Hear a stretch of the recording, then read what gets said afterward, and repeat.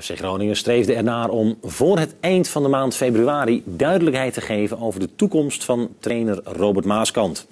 Inmiddels ligt februari achter ons en is het nog steeds muisstil in de Euroborg. Verslaggever Elwin Baas, ja, wat kunnen we daaruit opmaken? Ja, dat FC Groningen geen haast heeft hè, om een beslissing eh, te nemen. Uh, moet wel die kanttekening erbij plaatsen dat, uh, dat technisch manager Henk Veldmaten ziek geworden is deze week. En nog steeds ziek thuis is met, een, met een zware griep. Ja, en hij is eigenlijk de aangewezen persoon om een gesprek aan te gaan met, met de coach Robert Maaskant over zijn functioneren.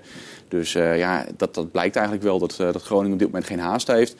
natuurlijk hebben de FC wel even om een reactie gevraagd van ja, die deadline is nu wel voorbij. Nou, Hans Nijland, algemeen directeur, laat, uh, laat dan weten van uh, ja, het was een streef deadline. Niet uh, denken van jongens, die moeten we per se halen. We wachten gewoon rustig af totdat Veldmaat weer terugkomt. Als dit een streefdatum was, is er nu ook een nieuwe deadline gesteld? Nee, nee, nee, nee, nee dat zei Nijland ook hoor. Van wachten eerst rustig dat Veldmaat er terugkomt en dan, dan zien we het wel weer. Ja, ik vermoed, maar dat is persoonlijk, dat Groningen nog wel wacht tot en met eind volgende week. Want volgende week vrijdag speelt Groningen thuis tegen NAC. Uh, dan heb je die drie luik gehad. Vorige week Pek Zwolle thuis, ja. zondag Roda uit en dan NAC thuis. Ja, pak je daar voldoende punten, dan hoef je alleen nog maar naar boven te kijken en niet meer naar beneden. En dat gaat denk ik in een functioneringsgesprek wel, uh, wel meespelen. Die deadline, hè, daar is veel over gesproken in de pers. Merk je nu ook dat het onrustig wordt in de Euroborg? Nee, bij de club zelf niet. Dat, dat blijft het heel erg rustig. ook omdat het seizoen natuurlijk wel langzamerhand tot een einde komt, zou je dat misschien wel verwachten. Ja. bij de supporters ligt het toch wel een beetje anders. Ik wil niet zeggen dat daar heel erg onrustig is, maar de supporters die ik spreek en, en ook bij de trainingen, ja, dan hoor je wel van, van ja, wat nu als Maaskant wel weggaat. Wie komt daarvoor terug? Is het bijvoorbeeld Erwin Koeman, die nu trainer is bij RKC, of Art Die nu aflopend contract heeft bij Zwolle? Uh, dat zijn allemaal geruchten en dat zijn ook allemaal geruchten, dus daar moeten we niet te veel van aantrekken. maar op het veld zelf, de spelers, ja, het is er heel erg rustig. Het lijkt wel of niemand zich echt met de toekomst van Robert Maaskant bezighoudt. De training begint vrijdagochtend wat later dan normaal. Maar verder is het een doodgewone vrijdagtraining op het TCN-complex met de reguliere oefeningen. Niemand op het veld lijkt zich bezig te houden met de toekomst van trainer Maaskant.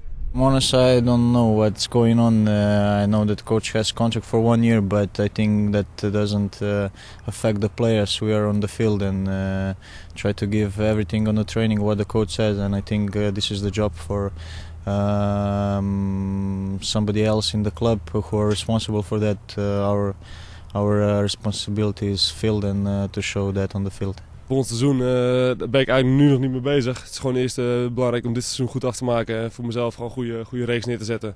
Dus eigenlijk daar ben ik niet helemaal niet mee bezig. Als je de spelers individueel en of de record spreekt, dan lijkt het alsof de spelersgroep wel verder wil met Maaskant. Want de flamboyante trainer is nou niet bepaald een doorsnee oefenmeester. Er zijn emoties en iedere uitspraken en dingen. En, en ja, ik eh, denk net dat het ja, voor de voetballer zelf is of je er tegen kan of niet. En uh, wat je ermee doet of wat je er niet mee doet juist.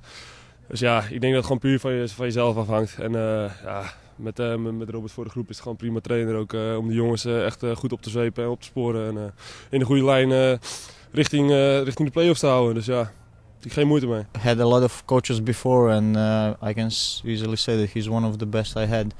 If not the best, so I, he taught me a lot and I think also uh, he can learn a lot young players uh, in Groningen. So I think it's a good decision this, that he's here.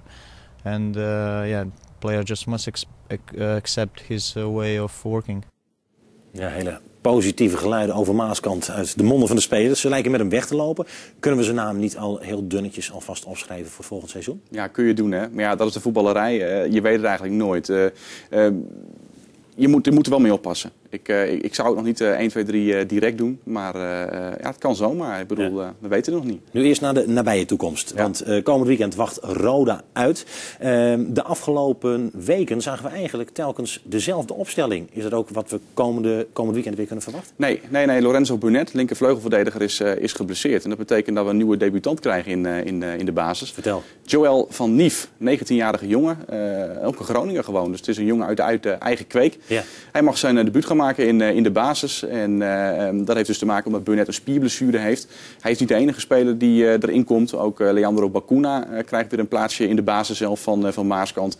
Ja, dat heeft te maken met Henk Bos van Maaskant drie wedstrijden op rij de kans heeft gekregen.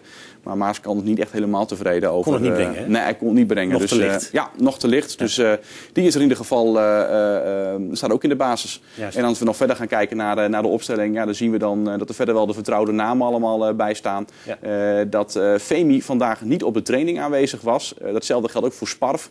de Nigeriaan en de Fin hebben beide last van, van hamstringklachten. maar Maaskant verzekerde ons dat, dat het geen probleem hoeft te zijn voor, voor komende zondag. Roda Nee. uit. En Zeefuik gewoon weer diep in de spits met de Leeuw erachter. Ja, die moet doelpunten gaan maken.